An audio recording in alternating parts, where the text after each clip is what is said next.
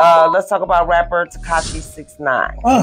Man. Um, when he got jumped and everything in um, Florida at the gym. okay, before we even go into the article, I know I'm going out of order. Okay. Um, everybody know you got jumped. Yeah.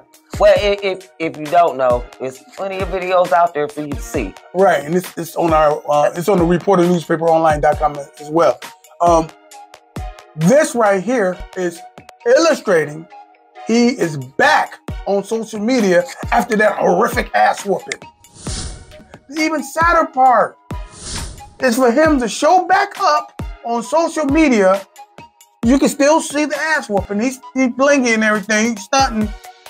But he seemed sad as hell, man. He was like embarrassed. The video is on the website, the reporter newspaper online. In the entertainment section. in the entertainment section, and you'll see him talking and he amongst uh, friends, homies. It wasn't the thuggest of groups.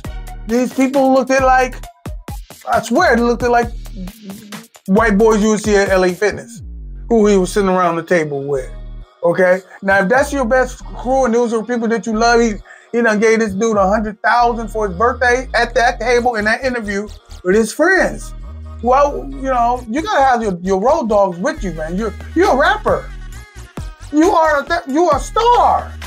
You walking around trying to say I'm gonna keep it real, and you pumping all that corn, and you you ain't even got a homie that you gave a hundred thousand to to meet you at the damn LA Fitness, but you gonna get this guy a hundred thousand? Like he's that he's that much you do? I'm gonna need you with me, homie. That's that is a job. I done gave you a hundred thousand. You feel what I'm saying? I do. I just, I just, the reason why I'm steady laughing is you don't think that you're not branded out here? To me, I don't care where you go. I don't care if you go to St. Louis. I don't care if you go to Biloxi, Biloxi, Mississippi. I don't care if you go to New York, Pennsylvania, any.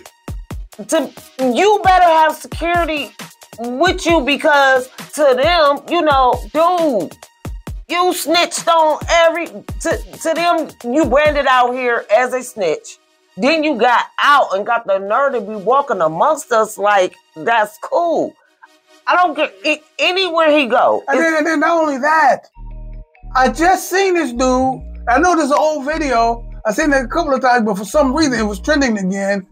Him coming out of the garage with a half a million dollars in his arms, threw it on the ground and says, "This is my lifestyle.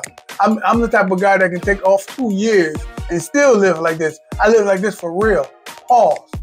Damn the ratting thing, dude. You could be kidnapped. okay, you threw all that money.